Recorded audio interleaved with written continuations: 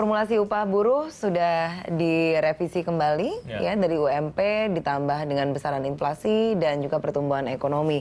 Nah, kalau kita coba melogikakan gitu. Kalau misalnya inflasi itu naik 2%, pasti kan kesejahteraan juga akan turun 2% di situ kan.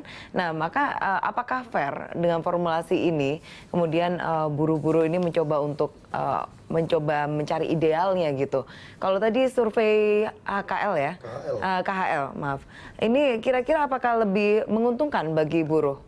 Ya kalau misalnya kaitan dengan menghitung dengan KL, tentunya kalau dibandingkan dengan yang dikatakan uh, Pak Dar Darmin kemarin jelas jauh lebih baik yang hitungan yang sekarang.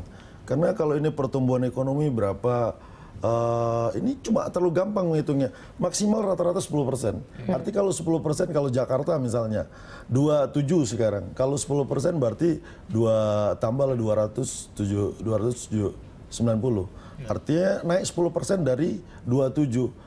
Nah kalau kemudian hitungan yang lama itu yang kita survei tadi kan ada angka-angka perbedaan di mana angka harga-harga kemarin tahun kemarin dengan tahun sekarang berbeda. Hmm. Masuk ada... pertanyaan saya begini Mas Dedi, apa teman-teman buruh ini tidak pernah sedikit mencoba formulasi baru seperti katakanlah uh, perusahaan-perusahaan ini dipetakan begitu sehingga bisa dihitung lagi UMP yang sesuai gitu, mungkin tidak memakai formulasi dua yang sudah di, pernah dipakai sebelum-sebelumnya begitu. Kalau formula, formulasi sebenarnya formulasi instrumen yang ada sebenarnya, tapi kalau kalau misalnya kaitan dengan di atas UMP memang kita mendorong bagaimana bipartit. Tapi efektivitas bipartit itu jauh, jauh dari yang diharapkan. Hmm. Karena mindset berpikirnya buruh mau berunding, kadang-kadang pengusaha tidak mau berunding ada juga kedua tidak transparansi. Hmm. Ada juga kadang-kadang kemampuan pekerja untuk mengajak menghitung berapa sih keuntungan perusahaan. Memang kita akuin masih ada hmm. juga hmm. yang kemampuan soal menghitung itu hmm. masih belum itu ada. Akhirnya kemudian akhirnya nah, demo begitu ya? Uh, enggak juga, karena apa demo itu tidak serta merta bahwa kemudian buruh ketika ada persoalan demo. Karena kalau demo salah kita demo ada dampaknya. Hmm. Buruh itu harus ada gagalnya sebuah perundingan kalau kaitan dengan upah demo ke instansi pemerintah memang itu berbeda undang-undangnya. Okay.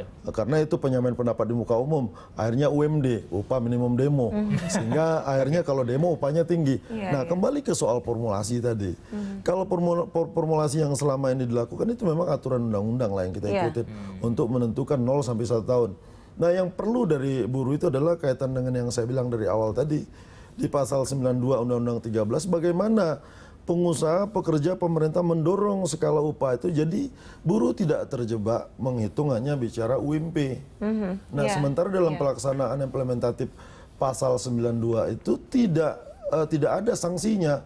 Bukan berarti kita mau disanksi, tapi bagaimana ada upaya paksa, bagaimana 92 tadi bisa dipaksakan untuk dilaksanakan. Mm-hmm. Jadi para pihak melaksanakan yang kata Pak Anton tadi bipartit itu bagian dari bipartit sebenarnya. Hmm. Bipartit tinggal dihitung berapa keuntungan perusahaan, perusahaan jelaskan kepada pekerjaannya, lalu pekerja menghitung, bipartitkan angka-angkanya. Hmm. Tapi sarananya itu sudah ada.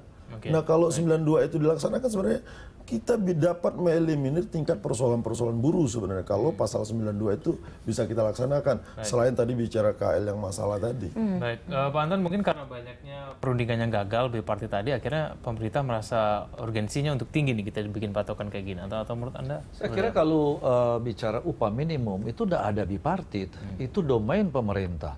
Tetapi pemerintah mengajak dua partai yang lain yaitu buruh dan pengusaha ikut sama-sama. Memang yang dibilang Pak Dedi dulu kita survei sama-sama, tapi survei ini yang sumber persoalan. Mm-hmm. Itu contoh kalau buah, apa buah apel atau pisang. Mm-hmm. Nah pisang ini beli di pasar di supermarket apa di pasar tradisional, harga tawar atau bukan. Ini kan selalu jadi dispute. Nah padahal saya pikir kalau mau secara fair dan jujur, keluarnya ya plus inflasi. Hmm. Karena kenaikan barang itu tidak mengurangi kesejahteraan. Kalau sekarang saya beli seribu rupiah, inflasi 5%, jadi 1050. Hmm. Nah kalau 1050 kan tidak menambah, tidak mengurangi. Masih tetap sama kan? Nah untuk supaya dia tidak berkurang kemampuan daya beli ditambah inflasi, baru ada lagi pertumbuhan. Ini lebih memudahkan, artinya jauh lebih bermanfaat daripada dibiarkan seperti yang lalu-lalu, kan sudah dicoba bertahun-tahun. Sebenarnya ini hanya ribut setelah reformasi. Dulu cuma ada satu serikat pekerja. Sekarang ini ada 100 serikat pekerja. Konfederasi ya Enggak, konfederasi Udah, enggak. udah, udah pokoknya 100 serikat pekerja. federasi. Yang duduk di dalam Dewan Pengupahan Nasional dan tripartit tidak bisa mengakomodir semua. Yang the most representative. Oke. Salah satu perwakilan beliau ada di dalam situ. Yang celaka yang tidak duduk kan, dan memang anggotanya juga tidak banyak. Lantas ini yang tidak mau mengakui hasil keputusan tripartit atau Dewan Pengupahan Nasional yang punya pandangan sendiri. Nah, sekarang pemerintah mesti dahulukan mana ini?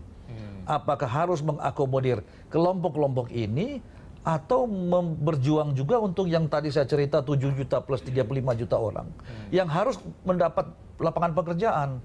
Apalagi kinerja ekonomi kita menurun. Jadi ini bukan sudah sesuatu yang baik, kondisi ekonomi baik, tiba-tiba pemerintah bikin eh, policy ini yang dianggap kontraproduktif. Kalau itu saya sependapat. Mereka juga tidak setuju.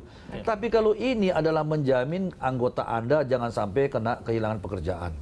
Saudara-saudara kita di luar yang belum mendapat pekerjaan itu supaya juga mendapat kesempatan. Karena kalau kita lihat gaji PNS golongan 1 dan 2 jauh di bawah UMP. Artinya daya dukung ekonomi kita yang masih belum kuat.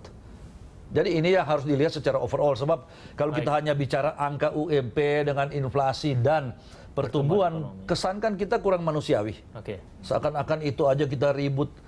Malah ada yang bilang UMP supaya bisa bayar cicilan rumah. Itu UMP memang desainnya minim. Yaitu safety net. Nggak ada untuk beli rumah. Untuk kawin saja belum. Karena dia kan orang yang putus sekolah.